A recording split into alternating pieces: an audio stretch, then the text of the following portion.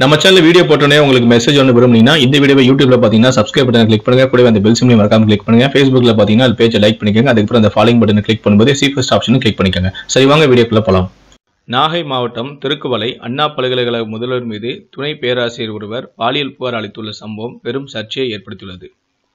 நாகை மாவட்டம் திருக்குவளை அண்ணா பல்கலைக்கழகத்தில் முதல்வராக இருப்பவர்தான் துரைராசன் இவர் அதே கல்லூரியில் துணை பேராசிரியராக பணியாற்றும் பெண்ணிற்கு பாலியல் தொல்லை கொடுத்ததாக புகார் எழுந்துள்ளது.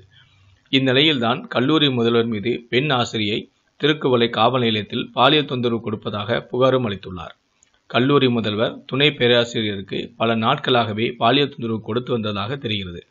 இந்நிலையில்தான் அவற்றை பொறுத்து கொண்டு கல்லூரியில் பணியாற்றிய ஆசிரியை சில நாட்களுக்கு முன்னர் கையெழுத்து வாங்க சென்றபோது தனது ஆசைக்கு இணங்கும்படியும் அழைத்துள்ளதாகவும் தவறான இடத்தில் தொட்டதாகவும் கூறப்படுகிறது.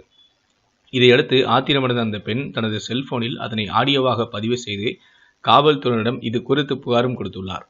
ஆதாரமாக அந்த செல்போன் ஆடியோ பதிவையும் காவல்துறையிடம் ஒப்படைத்துள்ளார். இதையடுத்து இது குறித்து வழக்கு பதிவு செய்த காவல்துறையினர் கல்லூரி தலைமையகத்திற்கு இது குறித்த அறிக்கை ஒன்றையும் அனுப்பியுள்ளனர். இதையடுத்து கல்லூரி முதல்வர் மீது பெண் ஆசிரியர் கொடுத்த புகார் தவறானது என கல்லூரி மாணவர்கள் சிலரும் போராட்டத்தில் ஈடுபட்டுள்ளனர்.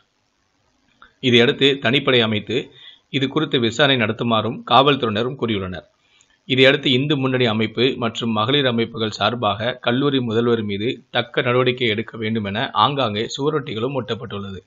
இதையடுத்து இந்த சம்பவம் குறித்து முழுமையாக அறிக்கை வெளிவந்த பிறகுதான் தக்க நடவடிக்கை எடுக்கப்படும் எனவும் காவல்துறையினர் தெரிவித்துள்ளனர். கல்லூரி முதல்வரே அங்கு பணியாற்றும் ஆசிரியருக்கு பாலியல் தொந்தரவு கொடுப்பது பெரும் சர்ச்சையை ஏற்படுத்தியுள்ளது.